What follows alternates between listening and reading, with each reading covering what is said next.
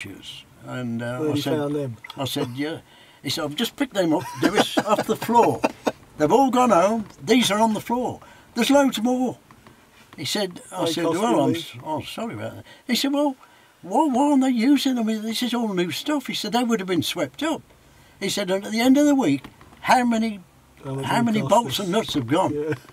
I said, yeah, I suppose so. He says, so tomorrow, make sure you tell them all not to leave them on the floor. Put them in the cars. Yeah.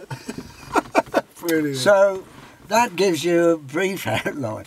Uh, but he, my personal view was he was a quite a character.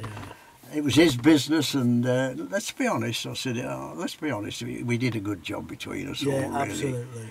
you know, he, he, he was a quite a character, I say. But uh, uh, I mean, another instance is uh, he had this place at Salcombe. Uh, Devon. down in Devon, and I used to go there occasional weekends with Mrs. Lyons, and then occasionally he'd say on a Friday morning, if he caught me, he'd say, "Dewis, the new, the new production car you're working on. How far you got?" And I'd say, "Well, we're doing this, I'm doing that." Well, do you think uh, it's possible for me to try it? And uh, I'd say, "Yeah, if you wish." All right. Well, I'm going down to Salcombe the weekend.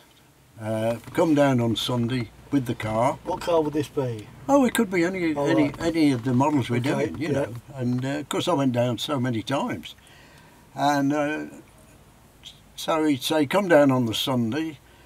Uh, Jeff will take me and uh, Mrs. Lyons down to Salcombe. He can drive her back Monday morning, and I'll drive the new model with you back on Monday. Yeah. I say, fine. So I'd do that, and he used to fix me up in a pub in the um, Salcombe Bay there. There was a little pub. He used to ring him up and say, give Dewis a meal and give him a room, and then um, that was it. I'd go up to to um, to the house at Salcombe on uh, uh, Monday morning, get there for seven o'clock, I've got to be there for seven. And uh, he'd get in the car, just check it all out, get in, and away we'd go and drive. And, and we'd be driving, it's a long way from Coventry to Mm. Salcombe. And after we'd done quite a big mileage, I, I used to say to him, excuse me, shall we have a coffee? And he'd say, what do you want a coffee for, Dewis? you don't want back. a, we don't want a coffee yet. He's still driving. And Might then- cost him 25p. Oh yeah, well that's it.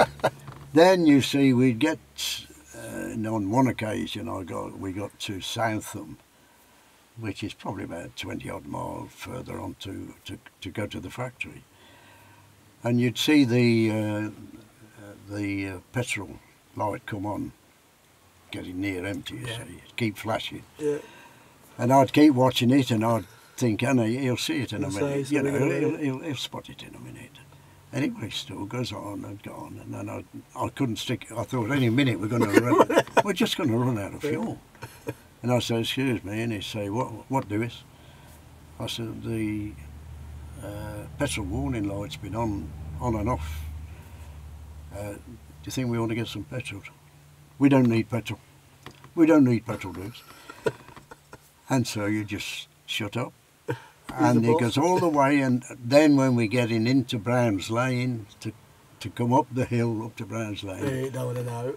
the light's on permanent, and I'm thinking, now it's going to run out, and it's your fault. no, just gets over the top really? into the main gate, and just we're going in the gate, the pumps start clicking. He's out. He's son, isn't he? knocks it into neutral and just coasts down to the petrol pump. And he pull up by the pump and he get out and say, there you are, do it. I told you you didn't need petrol. In other words, yeah, I'm not buried out of my pockets. it can come out of the business now.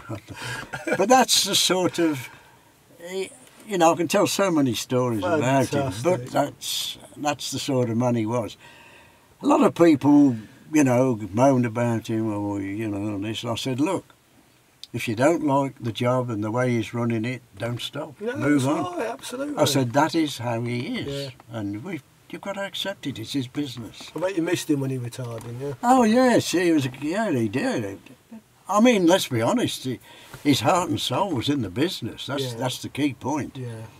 And uh, although he wasn't an engineer, but he was always around looking at the production, looking at cars, listening to things that needed to be listened to, you know, and, and then, I mean, after he went, the, the people who followed him didn't show the same No. initiative, interest, because I suppose no, it's not their business, you No. see. But uh, no, I, I got on well. You know, we had a good time together, ups, few ups and downers, but at the same time, he was the boss, Yeah, so right. you have to Yeah, accept appreciate that. that. Yeah, Yes, appreciate absolutely. it. Yeah, Wonderful. that's it. Wonderful.